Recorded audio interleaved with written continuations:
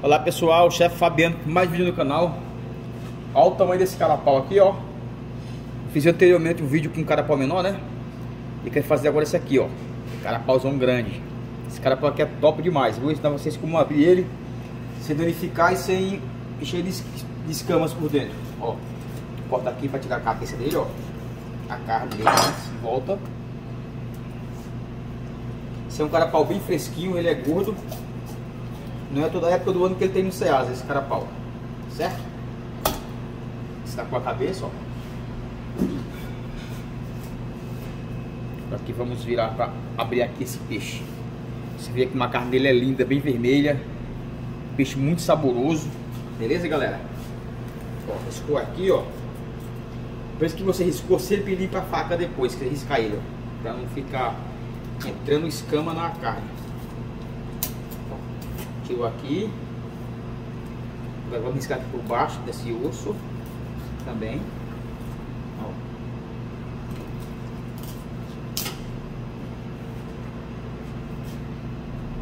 Girou. Faca boa para trabalhar assim para abrir peixe, pode ser essas facas mesmo aqui, ó. Essa aqui já é a faca mais para sashimi, né? Não é muito bom para abrir peixe, mas dá para fritar também. Dá para abrir o peixe. Também é uma faca muito boa, faca mundial, Dá pra trabalhar legal com ela, pra abrir peixe, salmão, vaca muito resistente, entendeu? Um conselho que eu dou é pra você deixar o, o fio dela curtinho, não muito longo. Pra não amassar, pra ficar mais resistente, beleza? E aqui, ó. Riscou aqui também, ó. As costas. Limpou a faca de novo. Aí vem, ó. Mais um risco. Na hora de cortar aqui, ó. Tirar esse peixe aqui, ó. Fileta, aqui, ó. Essa metade você segura aqui o rabo junto, porque senão você força muito o peixe e quebra o peixe, tá vendo? Olha como ele ficou inteirinho o filé, ó. Não trincou em lugar nenhum, beleza? E é bem vermelho, show de bola. Aqui você vira pra cá, ó, e já corta aqui ao contrário, ó. Você vem aqui agora, ó, riscou aqui, ó, a pele limpou a faca mais uma vez. Se você enfiar a faca no peixe agora, ó, olha o que tem de escama na faca, ó. Tá vendo, ó? E fica dentro da carne do peixe, essas escamas. Aí depois para tirar é pior. Então você limpa bem a faca, ó. Passa no Perfex para tirar a escama toda da faca. E agora você vai de novo. Sem forçar o peixe, para não quebrar o peixe. Agora girou aqui, ó. Girou não.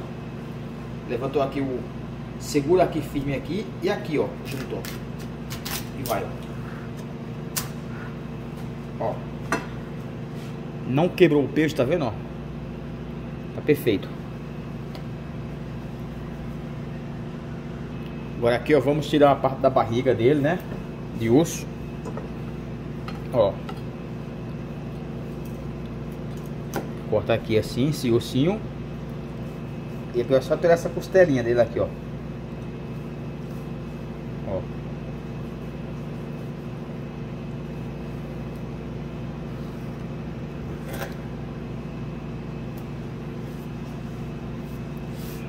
Sempre limpar na tábua para ficar encardida.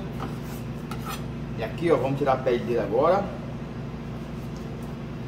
Ó, aqui firme, ó. E vai, ó. Esse movimento, ó. Puxou pra cá e vai com a faca, senão vai quebrar o peixe, forçar muito a carne dele. Ó.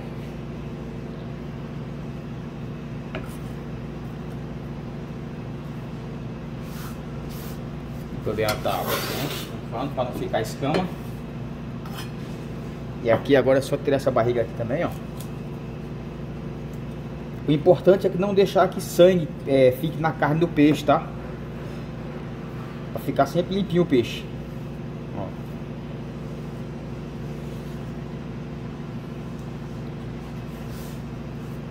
Peixe da carne muito linda. Esse cara é top demais um toque pra vocês, ó. Tá vendo que ele tá meio durinho, ó? Essa parte aqui fica meio levantada, ó. Se você for tirar a, a pele dele agora assim, ele vai cortar inteiro. Então você dá um, dá um cortinho aqui, ó. Quando vai dividir aqui nesse ossinho aqui, ó, do meio, ó. Tá vendo, ó? Ó. Essa parte de espinhazinha do meio aqui, ó. Você dá um, um risquinho. Aí o que acontece, ó, ele abre, ó. Aí ele fica mais retinho. Aí você consegue tirar a pele melhor agora. Tá vendo?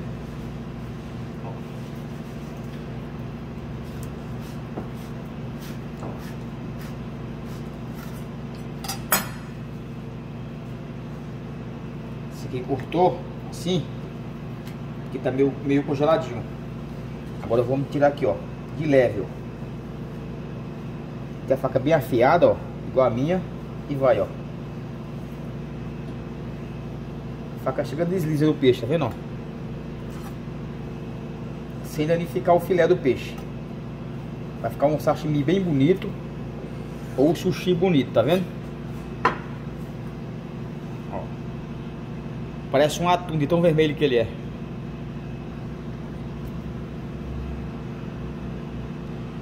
Aqui, ó, vamos tirar aqui esse ossinho aqui do meio, ó. Tem uma sequência de osso. Então tem que tirar. Ó. Fica só o filé. Certo?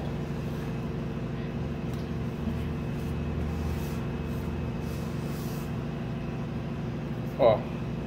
Sem escama, sem espinha. Tem um pedacinho de pele aqui, tira fora. O filézão. Dá um sushi belo. Essa partinha aqui metálica pode deixar que ficar, tá? Se não ficar com excesso de pele, pode deixar de boa. Porque ela, ela desmancha, você não... Não é uma, é uma, só uma tinta metálica que ele tem. Fica entre a pele e a carne dele.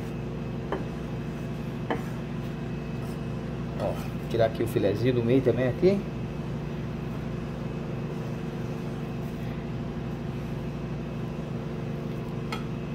Eu vou até postar esse vídeo falar pra galera que trabalha comigo para eles olharem, porque tem uns caras que quebram o cara pau inteiro quando abre.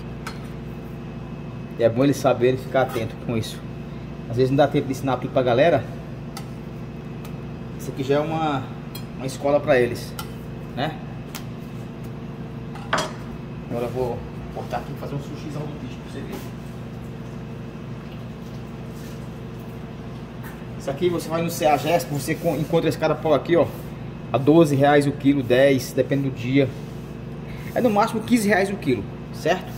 E é um peixe muito melhor que salmão, melhor que atum. Assim, é como a, do que atum comum, né? Muito melhor do que qualquer atumzinho comum, esse peixe aqui.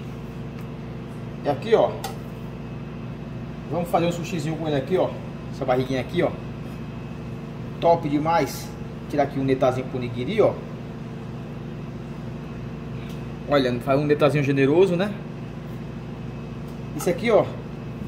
Dá uns cortinhos nele. Não, não é que precise porque ele já é muito molinho, né? Senão, mas é bom pra ficar bonitinho o peixe. Sushi, ó. Dá uns cortinhos nele. E vamos fazer agora um belo nigiri. Carapau. Agora, ó. Bolinha de arroz no esquema. Filezinho aqui, ó. Aqui você só fez o formatinho, não aperta muito o arroz, não ficar duro. Ó, moldou aqui, ó. Estoquinho, já era. O nigiri tá pronto, ó. Belo do nigiri. Peixe maravilhoso. Ó. Bonito demais. E saboroso. Agora vamos botar aqui o tempero no sushi sem bagunça, né? Ó. Nigirizinho de top temperozinho aqui que eu faço aqui, que é para usar no carapau, no, no serra, esses peixes mais fortes, que tem o sabor mais forte, entendeu? Combina muito com esse peixe. Beleza, galera? É só isso mesmo por enquanto. Forte abraço, inscreva-se no canal, dá aquela força lá, dá um like, compartilhem. Indique ao amigo para que quer aprender a fazer sushi, que quer conhecer mais da arte. Beleza, galera?